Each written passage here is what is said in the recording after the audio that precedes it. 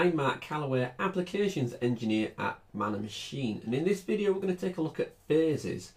Um, so most of you all know that Revit's a 3D application. Uh, technically it's 4D, so we can we can put time into the equation on these models. Okay, and you've probably overlooked it in most cases, but if I just select a component and we look at its properties window and we scroll down, you have this little group at the bottom called phasing.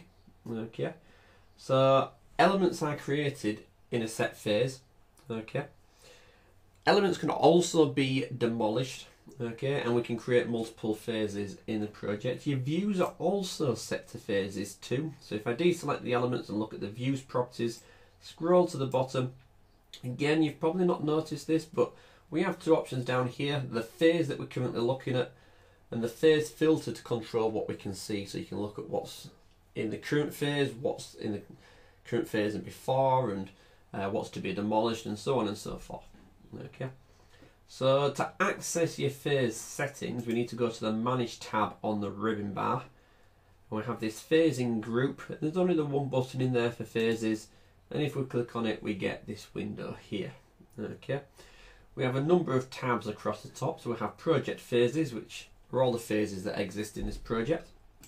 We have the phase filter, and these are the options that you can set um, in the views properties, and it controls how elements will display.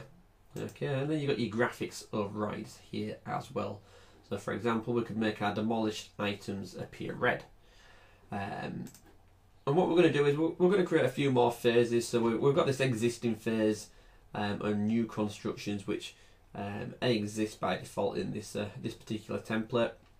I'm going to stick a third phase in there that's going to be our demolition phase. So maybe after existing, um, we'll add in a new phase and call it demolition.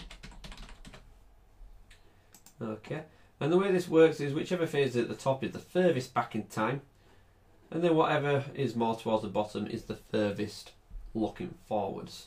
Okay, further into the future. Okay. So maybe what we're going to do is make this a bit more open plan and we'll put some offices on the right hand side. So I'm just going to select one of these internal walls here. And if we look at its, its options for phasing, we've got the phase created, so it was created in the existing phase, so it's an existing wall. And then the phase for it to be demolished, we're going to set that as the demolition phase. Okay, and that will get demolished in the um, in that particular phase. If I select the door that's hosted in it, you will see that it's inherited the phase that it's going to, going to be demolished in. Okay. Okay. And now if we change the view to look at a later phase, so instead of looking at the existing phase, we can switch to look at the demolition phase. And we can now see all our existing components and what's being demolished in this phase.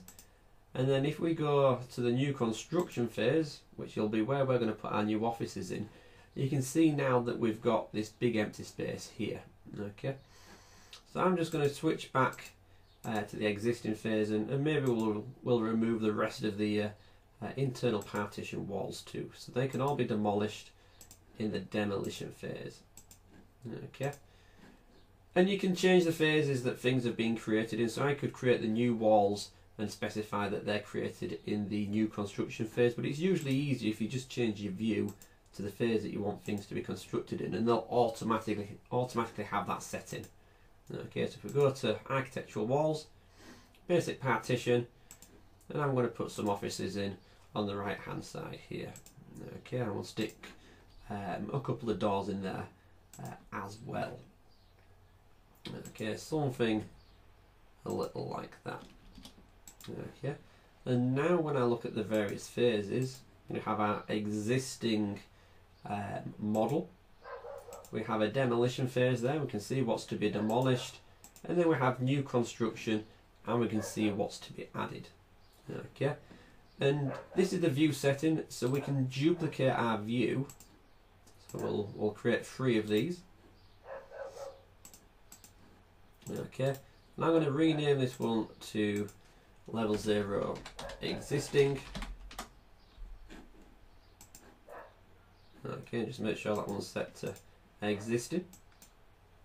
And then this one will rename to level 0 demolition. and we'll make sure that's set to the demolition phase and we'll rename this one to new construction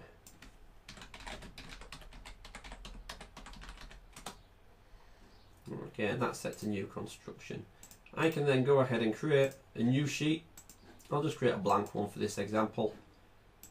And then we can place all of these side by side. So there's our existing.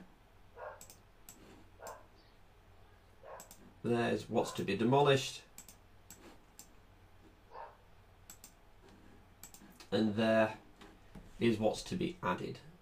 Okay so we can look at all three phases all three different points in time in the same model at the same time Thank you for watching.